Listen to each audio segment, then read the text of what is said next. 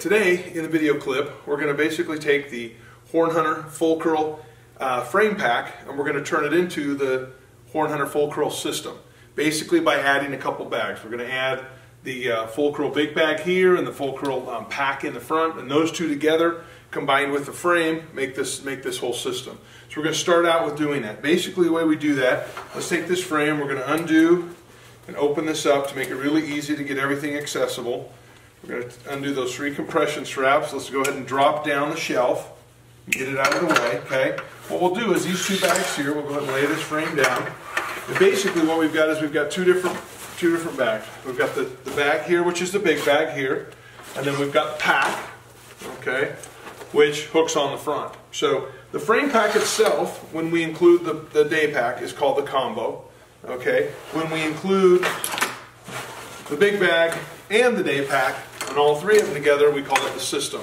And that's how we uh, advertise it on the website.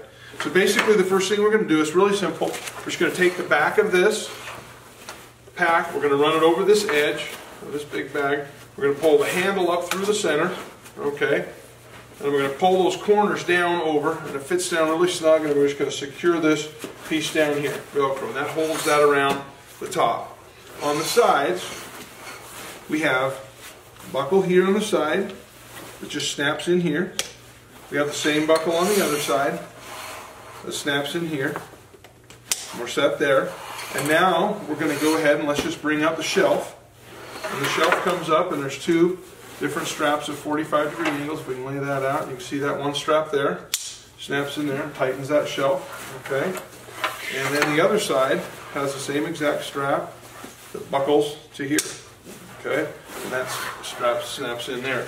So I know there's a lot of straps. We really, really make sure that we have plenty of straps and room because we want you to be able to expand the pack as you're loading up meat and, and gear. So there's a lot of different things, but it really is self-explanatory. If you just lay the pack down in the position over the bag, it's pretty obvious where each of the buckles snap in. So that's, that's it. That is now assembled. The big bag is on here, ready to go. You've got the shelf here. Obviously, we can bring these three around the front, snap those together, and compress that whole load. You can see how that compresses on down, okay? So now what we're gonna do is we're gonna take it from the big bag, we're gonna turn it into a system by putting this little day pack over the front, okay? So basically, this day pack has two at the top, two in the middle, and two in the bottom.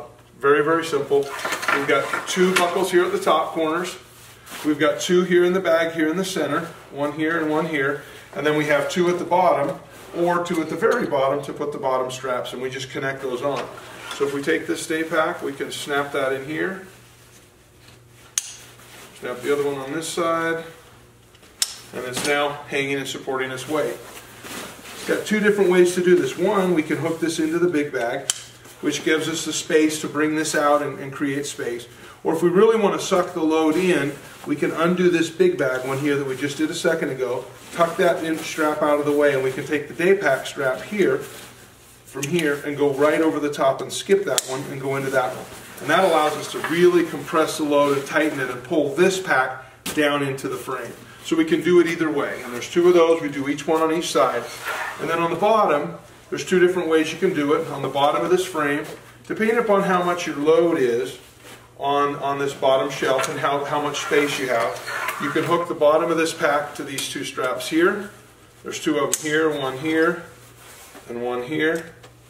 You can see how that sits. Okay, that hooks to there. Or if you don't have a lot in here and you really want to compress the load down more, you can actually take these straps here and just loosen them and you can run them all the way to the bottom. That just gives you another way, gives a little bit more support, just gives us kind of a dual connection system. So you can really kind of almost make that shelf disappear if you don't have a lot of load in there, you can pull that shelf in. So then once you're set there, now you've got these full, these two compression, we call them compression panels on the sides with three webbing straps in the center. And they come all the way around the center here and snap together and snap together and the third one up here. So you can see how we can tighten that load. This pack is this pack. Um, this has just been loaded down and as you obviously just put gear in, you can move it in. So the neat thing about this day pack is, is depending upon that load, this day pack, you can loosen these straps and you can pull this day pack and move it out or bring it in depending upon how much load you have inside of here. So basically there you have it. This is how we get from the, the frame pack all the way up to the system. And then to take it apart, really simple. Obviously, just kind of do everything in reverse. Just snap those buckles down, pop the buckles there. You, you all go all the way to the bottom, and it's loose. When you're loading the thing up, especially with meat, it's really nice to be able to completely remove the pack, lay everything out. You're going to here. We're going to drop that over the top. We're going to undo those middle straps, and that just slides out of the shelf. Now let's get those out of the way. And now we're back to the frame pack that we started with. You can see we go really from one to the other, but it's really just off the system of two snaps here, two snaps here, and two snaps here. Um, and those snap buckles just connect together. They just click together really quick, and you're all set, ready to go.